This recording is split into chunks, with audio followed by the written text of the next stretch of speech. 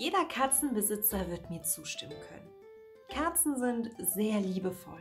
Sie spüren, wenn es uns nicht gut geht und sie sind für uns da. Sie kuscheln mit uns, wenn wir krank sind, suchen unsere Nähe und weichen uns nicht von der Seite, wenn wir traurig sind. Manche Freigänger bringen ihren Besitzern sogar Beute von draußen mit und das Schönste, sie schmusen und schnurren dabei. Denn wusstest du, dass Katzen durch Schnurren Schmerzen und sogar Knochenbrüche lindern können? Und wenn deine Katze sich zu dir legt und in deiner Nähe schnurrt, wenn du traurig bist, versucht sie dich zu heilen. Sie versucht dir etwas Gutes zu tun. Und auch bei diesem Punkt stimmen mir wahrscheinlich alle Katzenbesitzer zu. Wir würden wahrscheinlich fast alles tun, damit es unseren Tigern gut geht. Egal ob Futter oder Schmuseinheiten. Trotzdem gibt es einige Dinge, die zu kurz kommen im Katzenalltag. Und diese solltest du häufiger tun, damit deine Katze dich noch mehr liebt. Denn diese elf Punkte kommen super an bei jeder Katze.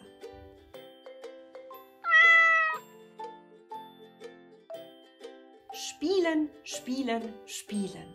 Aber vor allem neue Abenteuerspielplätze schaffen.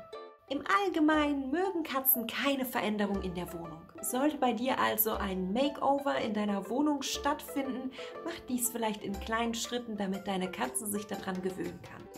Anders ist das bei Abenteuerspielplätzen. Davon können Katzen nicht genug bekommen und sind oftmals schon beim Aufbau des neuen Kratzbaums direkt dabei. Sie spielen mit den einzelnen Teilen, klettern in den Karton oder sitzen schon bevor alles fertig ist drauf. Kombiniere verschiedene Spielmöglichkeiten. Katzen sind sehr neugierige Tiere und wahrscheinlich wird auch dir aufgefallen sein, dass deine Katze eine Lieblingsspielangel hat, einen Lieblingsspielball oder einen Lieblingskratzbaum. Wenn du deine Katze so richtig glücklich machen möchtest, kombiniere doch verschiedene Sachen miteinander. Zum Beispiel, du kannst mit der Lieblingsspielangel auf dem Lieblingskratzbaum spielen. Oder die beste Spielangel mit einem Spielteppich oder einem Stück Stoff kombinieren. Werde hier kreativ und versuche an verschiedenen Orten zu spielen mit verschiedenen Materialien, sodass deine Katze sich verstecken kann, jagen kann und vielleicht auch andere Sinne einschalten kann. Und wenn du ganz mutig bist, wie wär's mal, wenn ihr im Dunkeln spielt?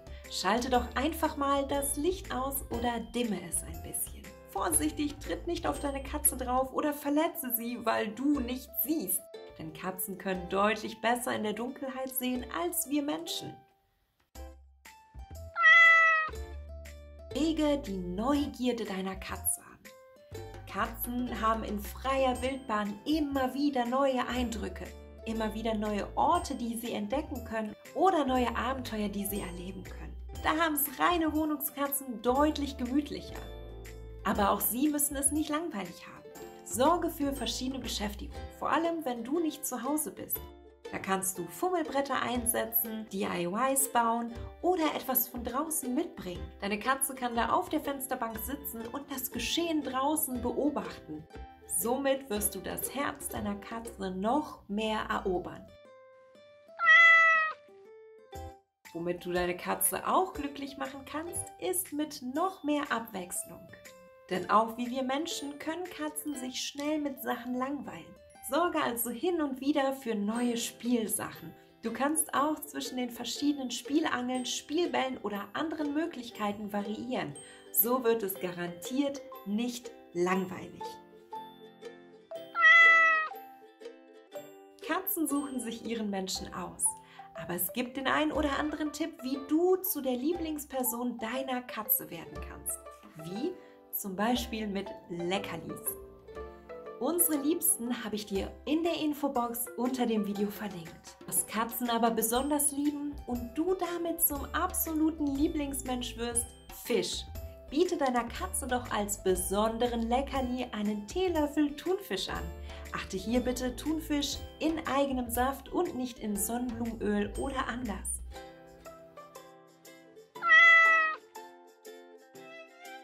Wenn deine Katze das aber nicht möchte, bedeutet das nicht, dass sie dich nicht liebt. Dann kannst du deine Katze zum Beispiel streicheln, wie unter dem Kinn. Das ist die Stelle, die extrem sensibel ist und vor allem streichelempfänglich.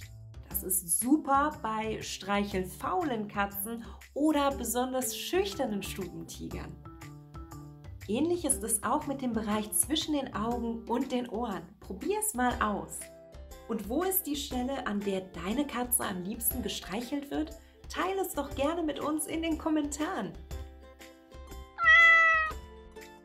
Ein schöner Platz am Fenster. Gerade reine Wohnungskatzen haben nicht so viel Abwechslung in der Wohnung. Der spannendste Ort ist da wohl die Fensterbank, denn draußen passiert so viel. Vögelchen, die vorbeifliegen, der Straßenlärm, all die verschiedenen Jahreszeiten, die die Katze beobachten kann. Mach deiner Katze deswegen einen schönen, gemütlichen Platz am Fenster mit einer Katzenhängematte oder einer Fensterbankliege. Du kannst natürlich auch den Kratzbaum in die Nähe schieben, sodass deine Katze von ihrem Bettchen weit oben auf dem Kratzbaum rausgucken kann. Ganz gemütlich und ganz spannend.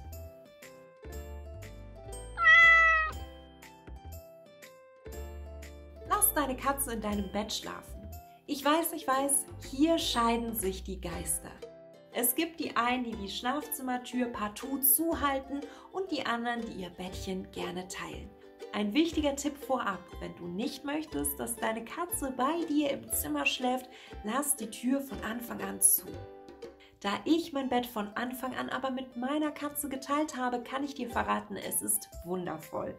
Man hat zwar nicht mehr so viel Platz, aber dafür hat die Katze ihre eigene persönliche Heizung. Ähm, ich, die Katze? Ja, ja, die Katze hat dich als persönliche Heizung. Aber es stärkt definitiv eure Bindung. Denn die Katze fühlt sich bei dir in der Nähe sicher, sie sieht sich als Teil der Familie und vor allem fühlt sie sich geborgen bei dir.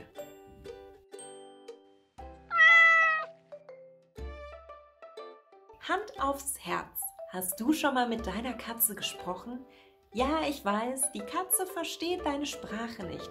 Trotzdem versteht sie dich durch die Art und Weise, wie du sprichst, deine Tonation.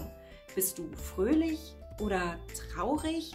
Ich verspreche dir, deine Katze wird deutlich schneller deine Gefühlslage verstehen als der ein oder andere Mitmensch. Denn Katzen sind extrem feinfühlig. Und auch du merkst am Klang des Miauens deiner Katze, ob es ihr gut geht oder nicht. Außerdem wirkt die Stimme des Lieblingsmenschen auf die Katze beruhigend. So oder so, sprich doch einfach mal mehr mit deiner Katze. Du wirst sehen, Sie wird dir zuhören und sie wird es lieben. Wie sieht es bei dir aus? Machst du all diese elf Dinge schon? Schreib mir doch sehr gerne in den Kommentaren, ob du mit deiner Katze sprichst und wo deine Katze am liebsten gestreichelt wird. Hinterlass doch sehr gerne einen Daumen nach oben und abonniere diesen Kanal, um keine weiteren Katzenvideos zu verpassen.